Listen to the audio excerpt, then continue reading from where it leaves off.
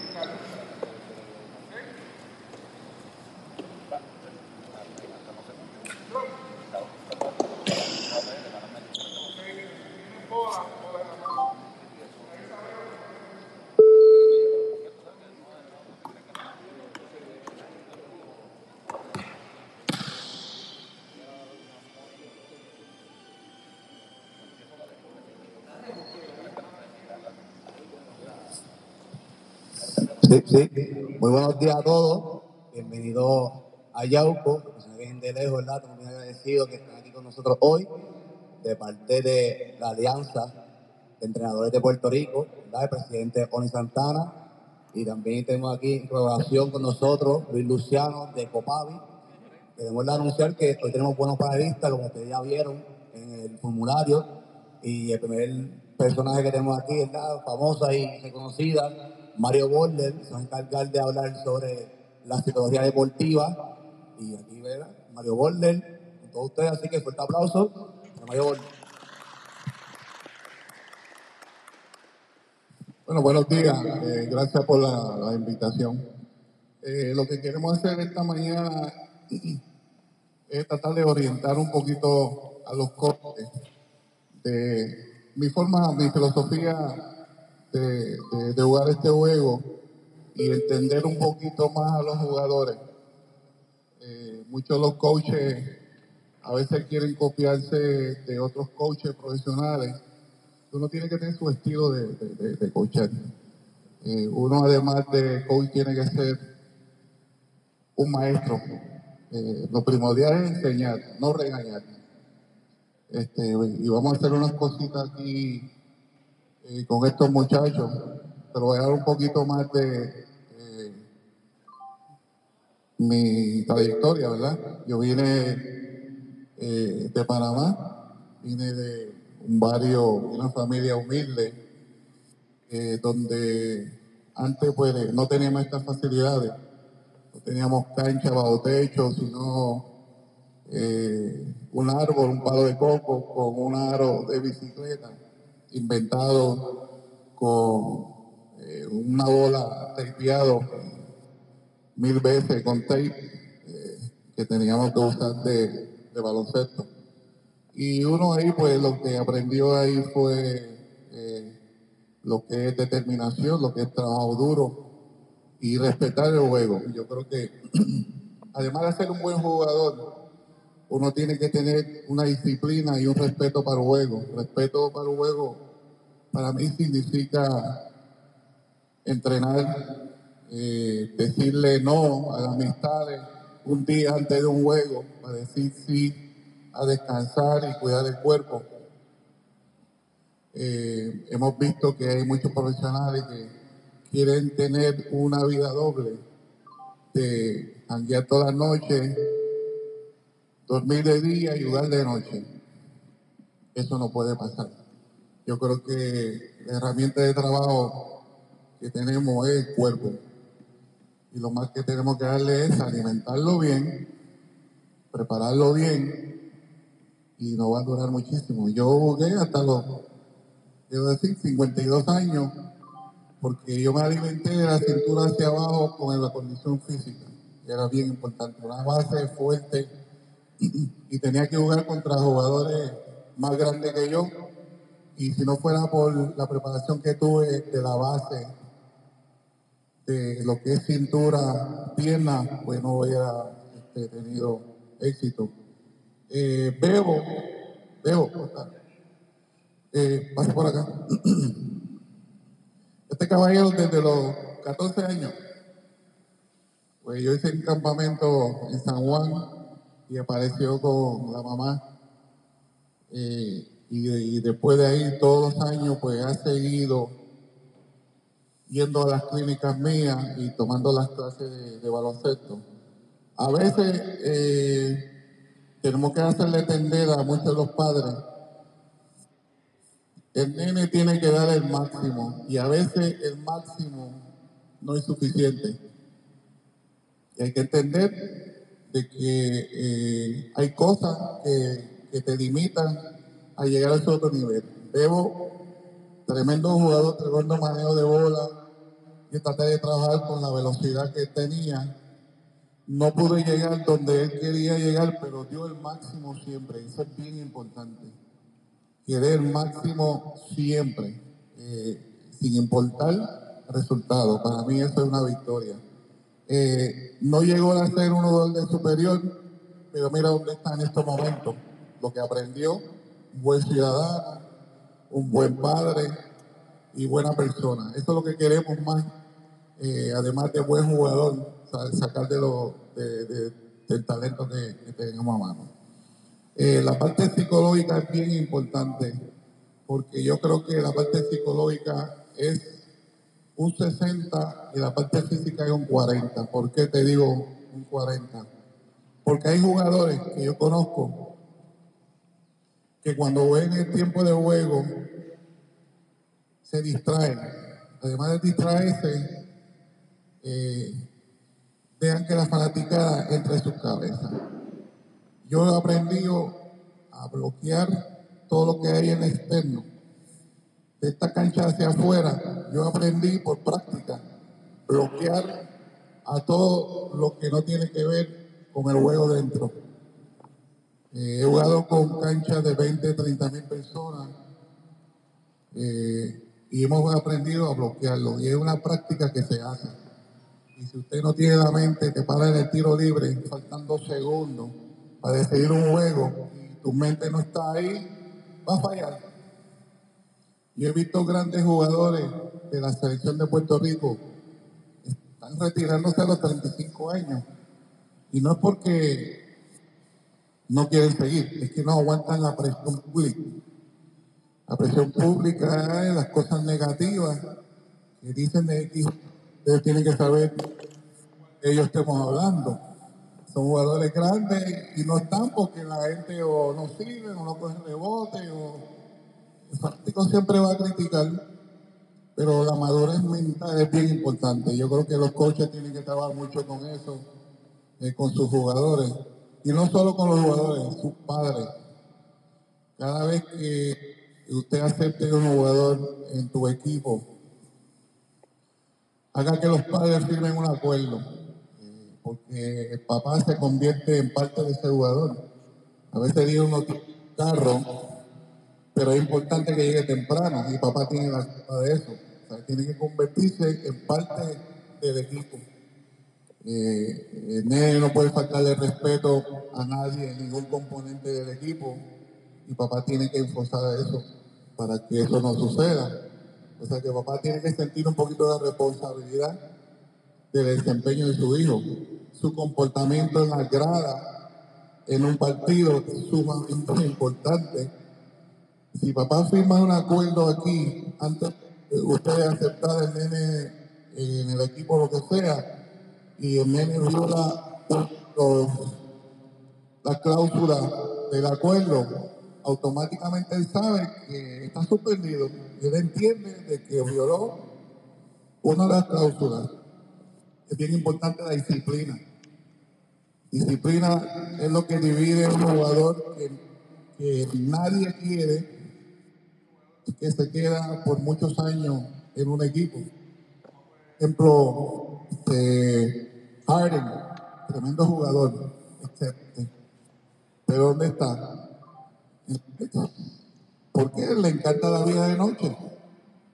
Entonces los dueños del equipo invierten X cantidad de millones en un jugador, pero no pueden dormir de noche porque se pasan jangueando en el strip club. Y eso pasa en la liga superior. Hay jugadores que no duermen de noche. Y como este es un pueblo pequeño, pequeña, los fanáticos ven la vida que vive este jugador. Es un pueblito pequeño más todavía. O sea, eh, eh, yo creo que el comportamiento de, importante por encima del jugador. Y eh, yo cuando fui reclutado este, en la universidad, yo vi una universidad pequeña de, mil, mil estudiantes y además en mi vida yo pensaba, era mi sueño, ¿verdad? Que iba a ser este, drafteado en el NBA porque mil estudiantes en el medio oeste, un frío, donde ahí se crecía maíz, este, nadie esperaba que iba a ir una escucha del NBA a buscar un jugador. Pero eh, lo que me dijo la escucha, el scout, cuando me reuní con él, me dijo, yo te estoy viendo desde el segundo año de la universidad. Yo he ido a cuatro prácticas de usted, he ido a los juegos de usted, tengo el informe de usted. Comencé a revisarlo y él tenía ahí cómo era mi comportamiento cuando las cosas no me salían bien. Bien importante. Eh, cuando el juego mío no estaba ahí, cómo yo reaccionaba hacia mis compañeros cuando llegaba al banco. Actitud. Si le tiraba el vaso, le tiraba el toallo al, que lleva la toalla. Actitud. Me dio, me gustó tu actitud, más que nada. Porque la actitud es bien contagiosa. Es contagiosa y todo el mundo puede ser el mejor coach y el mejor jugador cuando se gana los juegos. Usted tiene que enseñarle a los jugadores a perder y cómo reaccionar y actuar cuando se pierde un juego. Muchos no están preparados para perder juego. Cuando se gana, eh, tú eres el mejor, tú eres mi caballo. Cuando se pierde, hay que volver al taller, a la cancha, hay que entrenar duro. No hay como castigo, sino para volver a conseguir la confianza de juego. No sé si me estoy perdiendo con ustedes o están conmigo. Si tienen preguntas, me pueden parar para eh, eh, poder. Yo creo que lo más importante de, todo esto, hermano, es si usted va a confeccionar un equipo, busca buenas personas primero que nada. Usted no quiere estar dirigiendo y mira hacia atrás y tú ves caras largas. O sea, pues el jugador te puede enviar múltiples mensajes sin hablar contigo. Tú miras al banco, porque es mi equipo.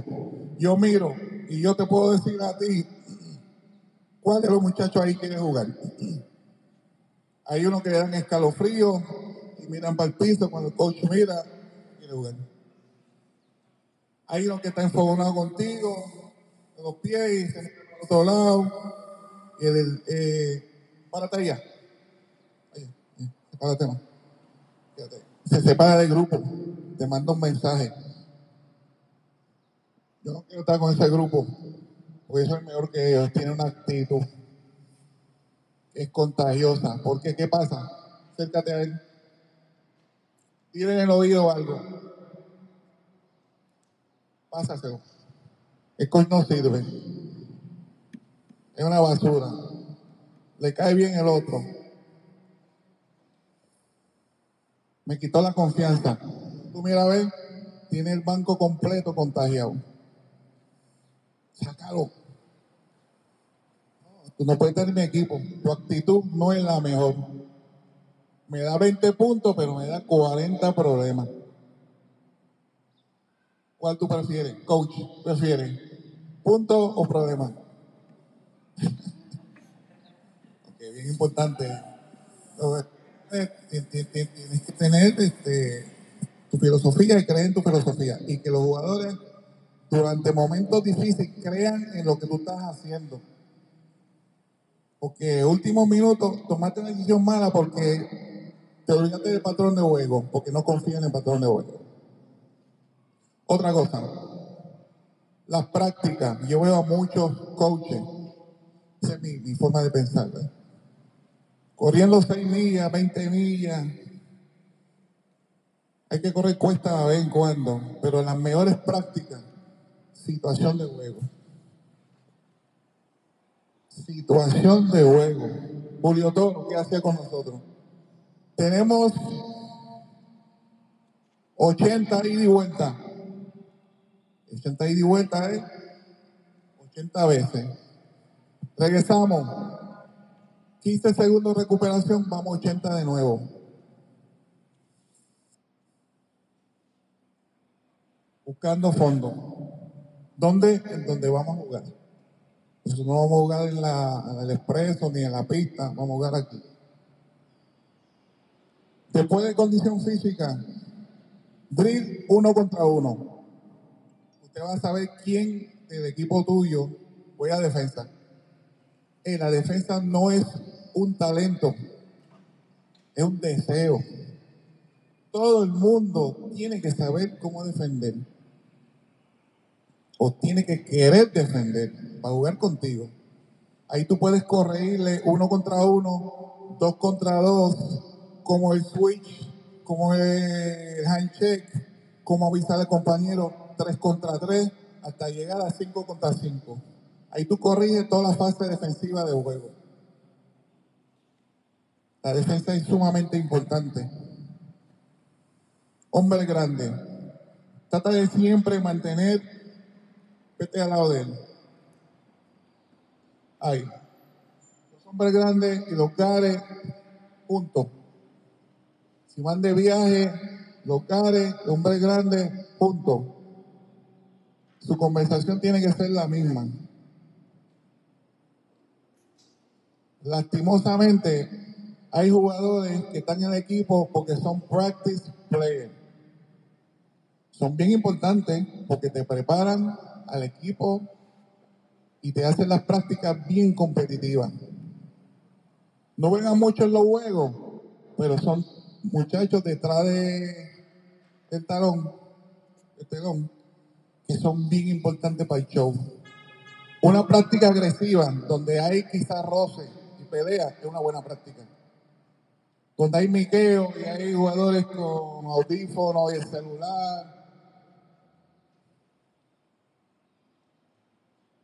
O sea, después, a mitad de temporada, coach, no venga a reclamar si usted no tiene un, una carta de compromiso que los jugadores firmaron. Firma aquí, papá. Compre- Compromiso. Bien importante. Segundo, hay jugadores que no van a llegar y hay jugadores que van a llegar. Jugadores que tienen talento, que conozcan su cultura. Bien importante. Si van para los Estados Unidos, es otro negocio. Usted lo que lleva contigo es tus raíces, una foto de tu, tu familia y que, lo que tú representas.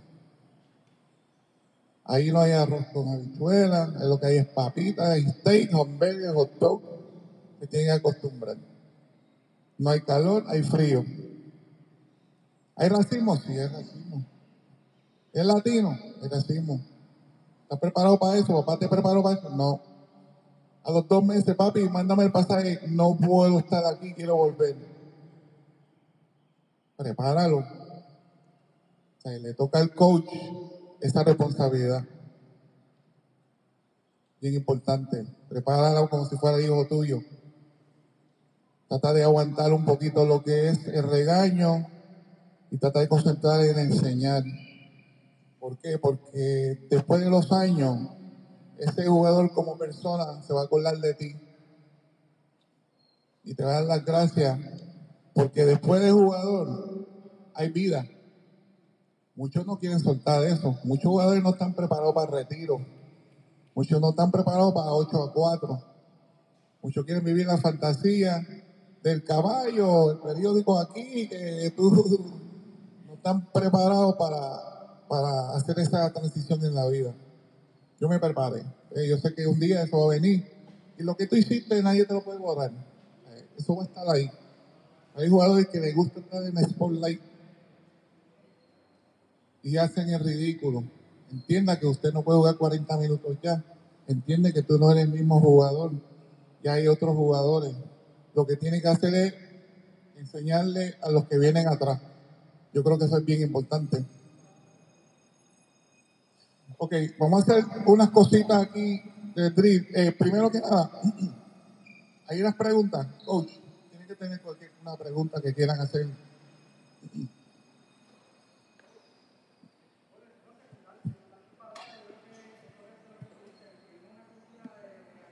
Ajá.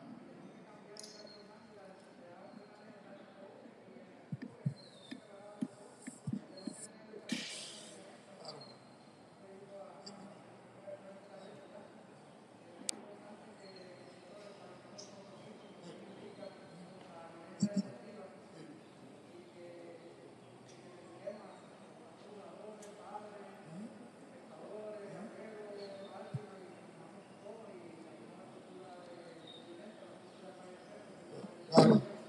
Porque si vemos, hermano, si ves las, hay charlas de clínica, lo que hablan es de cómo preparar un jugador, cómo preparar ganar, cómo eh, ser el mejor equipo. Hermano, eh, yo estoy tratando de adaptarme a la vida normal porque lo que me han enseñado toda mi vida es competir, ganar, ser más fuerte que... Y estoy acostumbrándome a vivir de 8 a 4, de salir a la calle a compartir como ser fanático. No puedo. Cuando hay competencias internacionales, yo estoy viendo ahora cómo reaccionan los fanáticos. Es una cosa impresionante.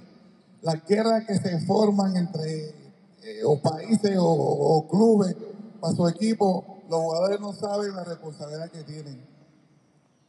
Si estuvieran el seguimiento que ellos reciben de los fanáticos, muchos fueran más responsables.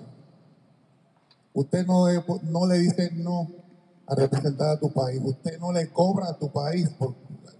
Esa es mi filosofía. Pero hemos dañado eso. Hay jugadores cobrando por jugar. Tienen a gente negociando.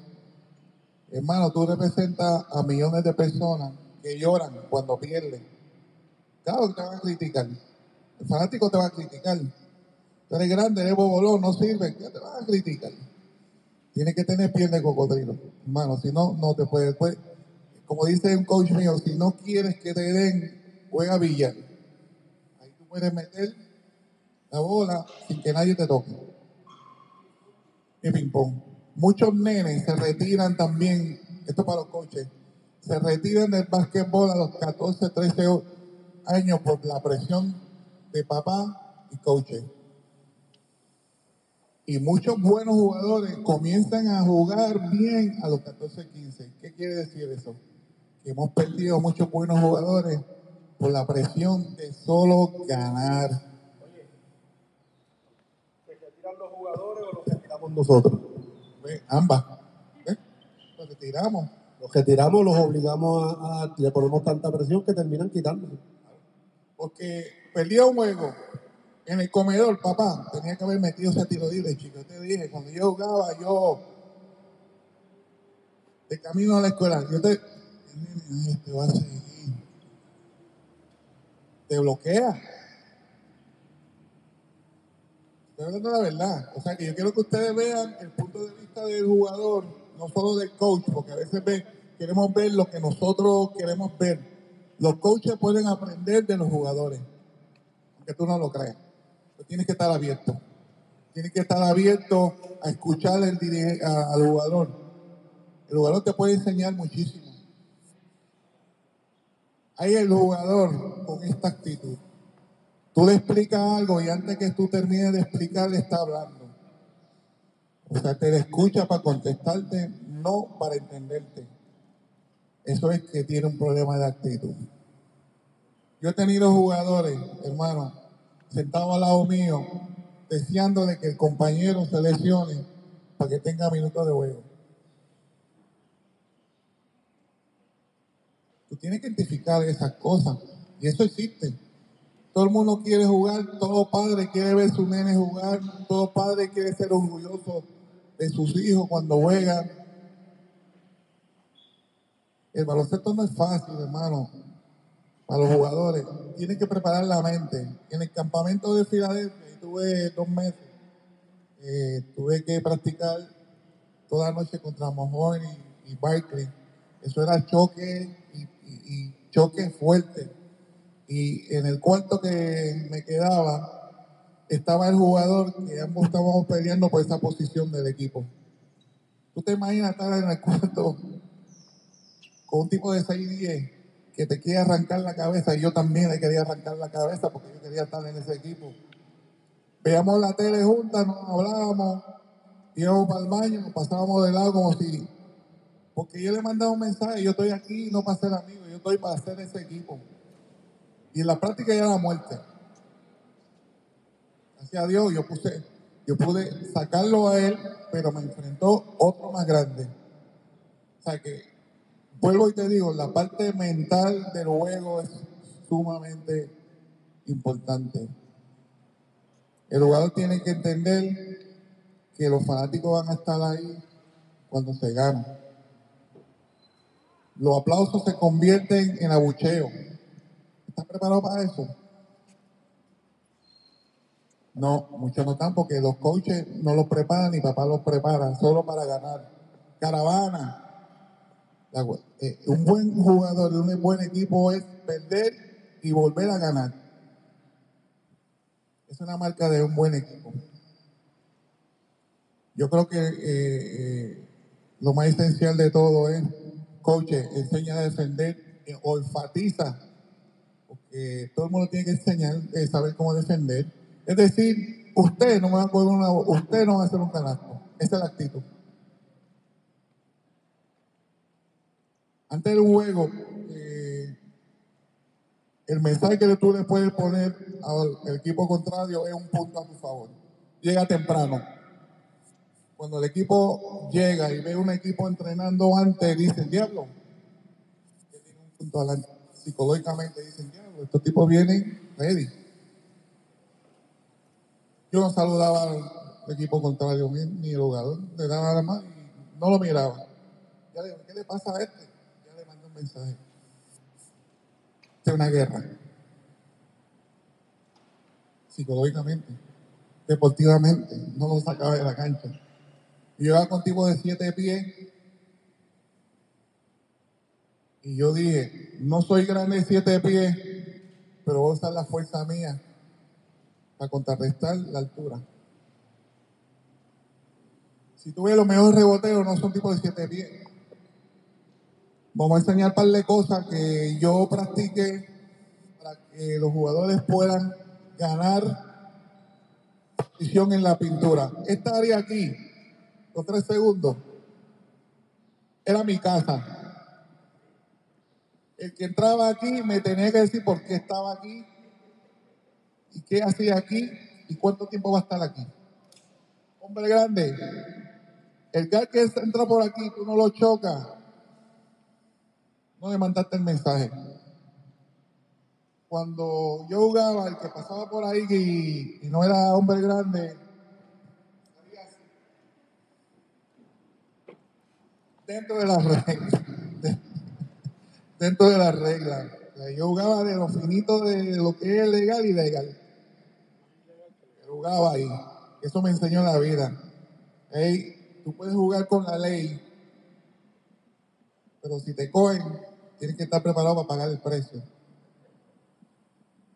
Y yo jugaba en la línea finita de un foul y una un foul, una falta técnica.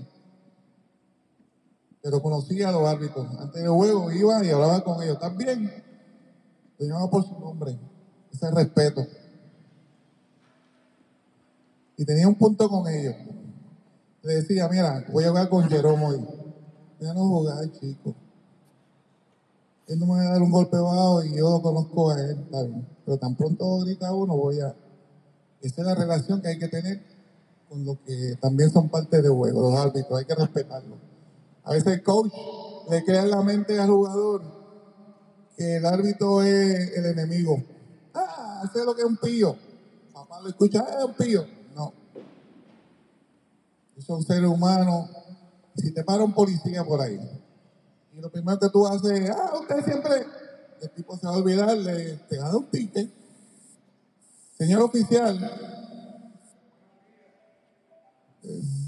un brequecito. ¿Entiendes lo que te digo?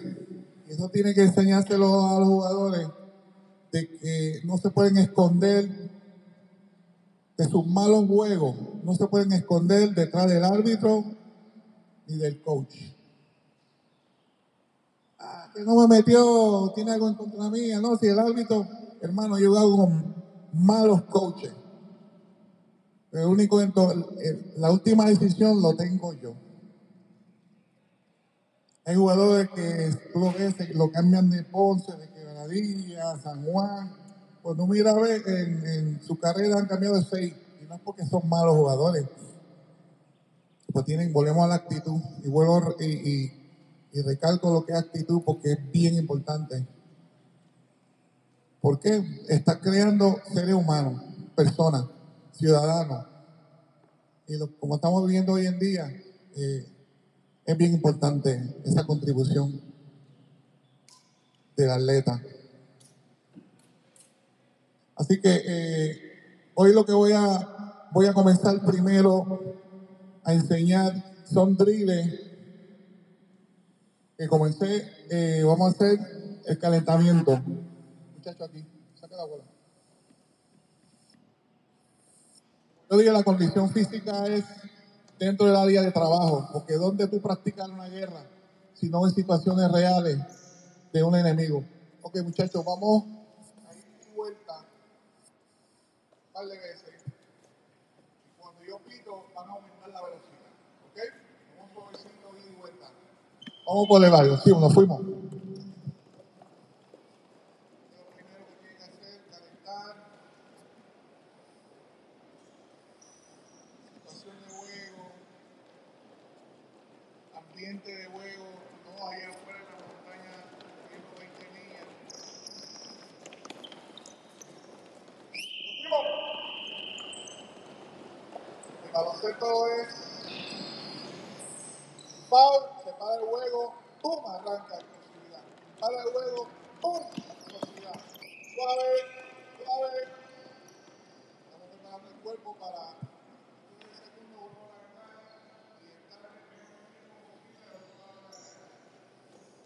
que vamos máximo, cuando yo pito yo quiero lo máximo que tenga.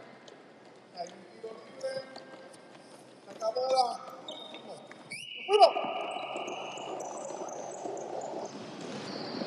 No pite. Sigue.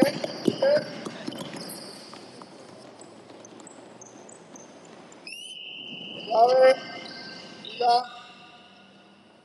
tiene seis minutos, van a tener la respuesta. A ver, parece para la última tanda.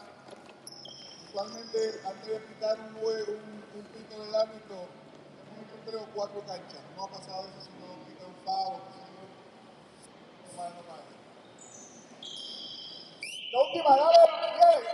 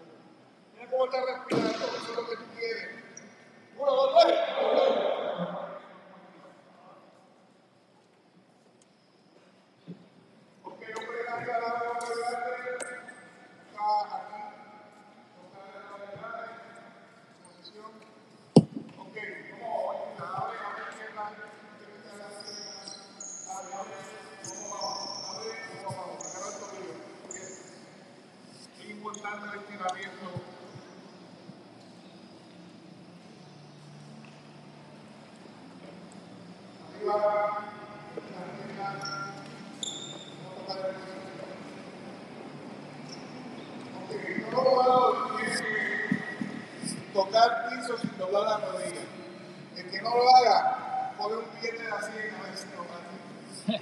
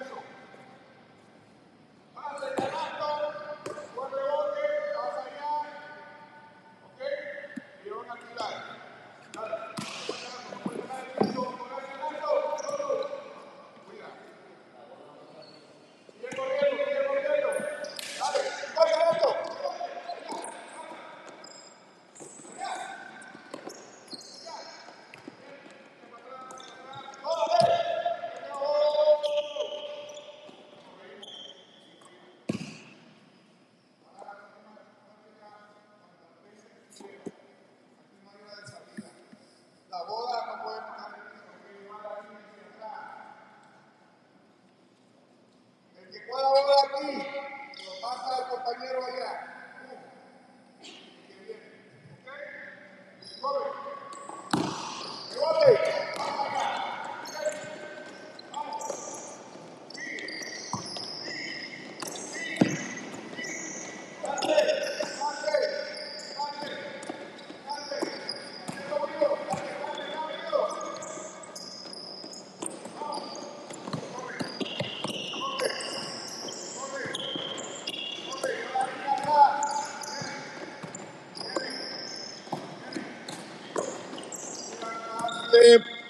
Canastos fáciles cuando estamos cansados, hay que hacerlo cuando están cansados. Minutos finales de juego, se pierde un juego porque estamos cansados, una huida fácil.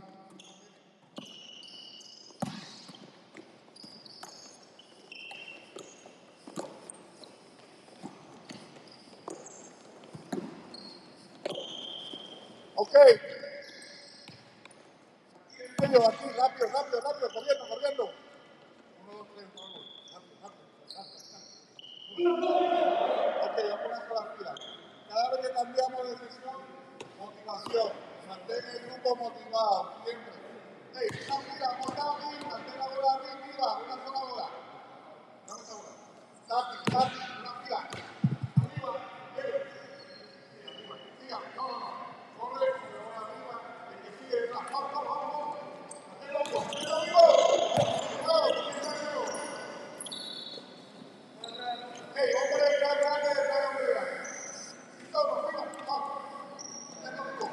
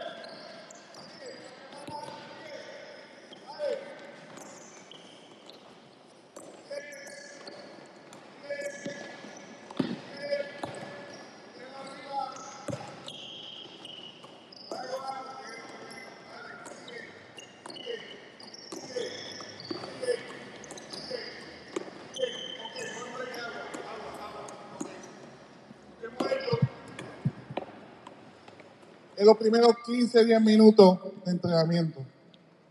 Si usted entrena 100%, va a jugar 100%. Las prácticas no son para miquear y después jugar cuando hay juego. La práctica tiene que ser como juego, todo. Que no tengan tiempo ni para ir al baño o usar el celular. Que lo hace mucho. Ok, ahorita vamos a trabajar en la posición mía, hombre grande. Eh, todo coach tiene que saber separar los gades de los hombres grandes y unas cositas. Hombre grande, viene.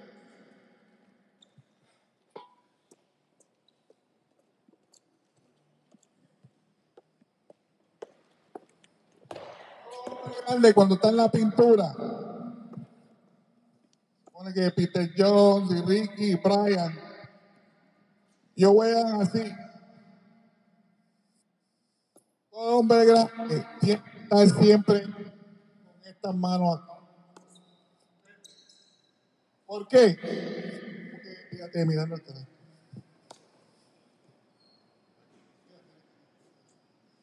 Siempre que yo jugaba contra hombres grandes, el arma mío, para que no cogiera un rebote, yo lo tenía controlado. El hombre de siete pies, no, si sube las manos, no tiene ventaja sobre mí. Así que yo me mantenía aquí, esto es lo que yo lo mantenía. Y como la fuerza que tenía, ninguno me una sola. Una bola, ni un rebote. El hombre grande no puede tener los brazos. Estamos en sintonía, vamos aquí. Si ven el NBA, de las peleas es que como aquí, tratar de tener este codo siempre encima del contrario. Y tú lo ves peleando y peleando contexto. Que vamos aquí. Un rebote, ¿vale? Aquí, él no puede coger rebote con esta mano, pero yo tengo esta de coger rebote. Ok, post move.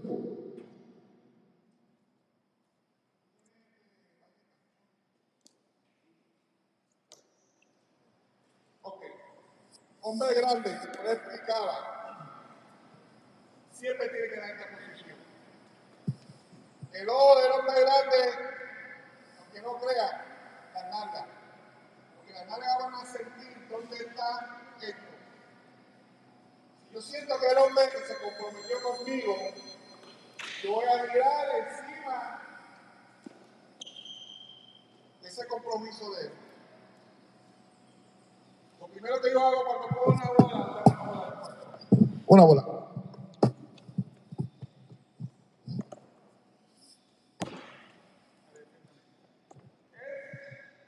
Yo mirar dónde está el pie de él y esta pierna, aquí, esta pierna, lo voy a sacar aquí. Técnica, que paso por paso con él. Él tiene que tomar esa decisión, tú no. Él tiene que saber dónde está la defensa, dónde está la rotación, aquí. O sea, no es para sentarse en el para esto, para miren, Rolando se lo hacía, todo, sabía cómo usar esto. Porque usaba esto para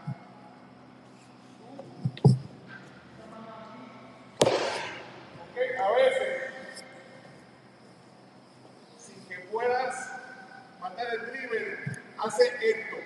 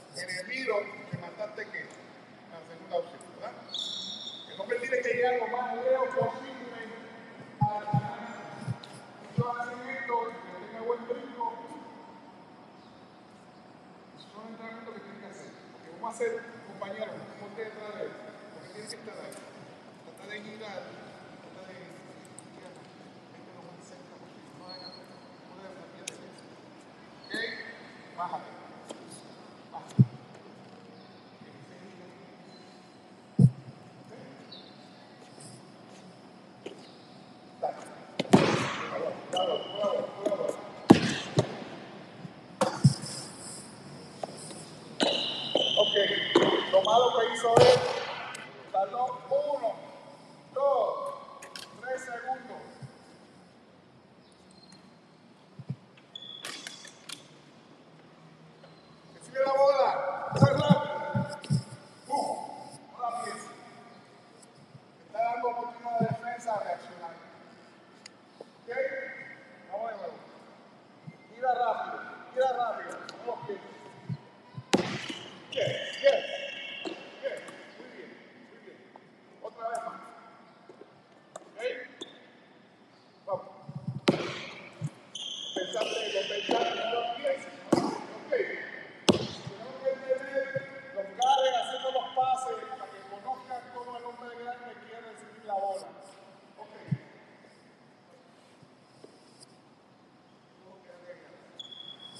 Tiene que hacer los dos pasos antes de recibir la bola. La bola está en la dirección de aquí a acá.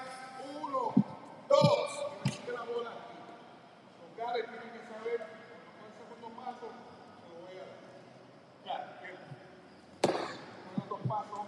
Uno, dos. Con el hombre encima. Encima. hombre encima. Vamos a hacer ahí en doble.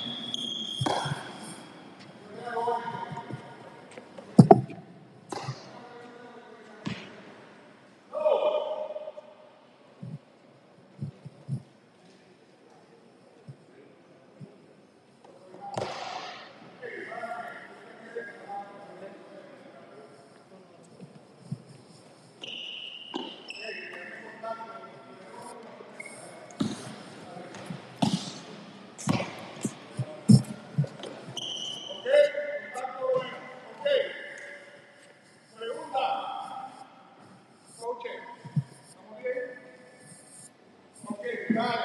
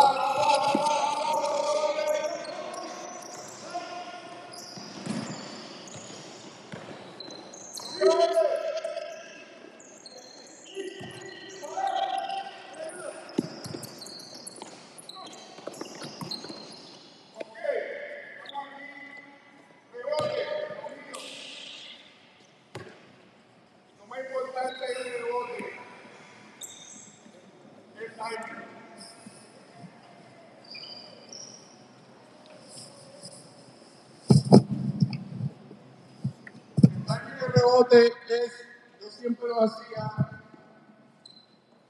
cuando la bola tocaba el canasto. Muchos jugadores rompen a brincar cuando la bola sale de, de las manos del tirador. Cada vez ves que la bola toque el canasto, sube. Y yo brincaba debajo de la bola, no hacia la bola. ¿Qué quiero decir? Ok, dame dos. Tú y tú.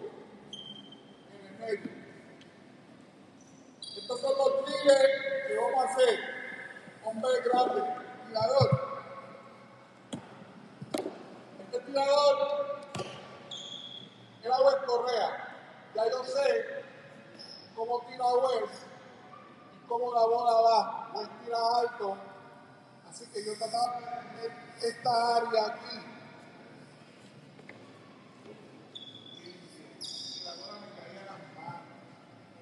Conozca a los tiradores tuyos las. Al que tira, Rolando tiraba de tabla. Cuando fallaba el tiro de tabla, míos. Los tipos brincando ahí, ahí, Dios mío, me caía en las manos. Conozca los tiradores.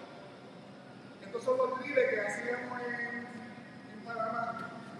Le ponían una tapa. Uno contra uno, diez de oro. Uno contra uno. Tiraba la bola, había que meterse bajo el rebote. El que